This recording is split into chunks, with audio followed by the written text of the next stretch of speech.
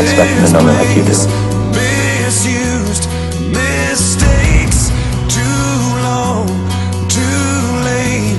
Who's my life, I to Chloe. make you wait? Just one for me. chance, just one I'm a man.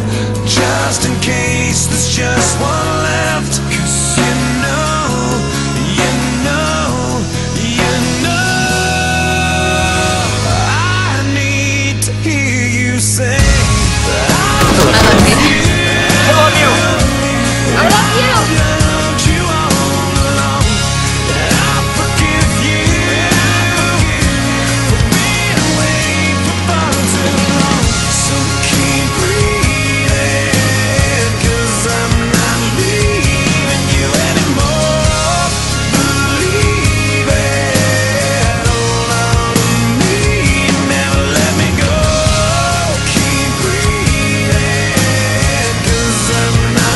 Funny thing about scars,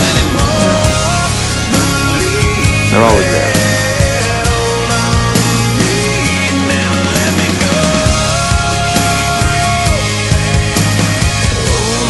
I don't know what you're thinking, but hope it's not you're gonna run off without your husband.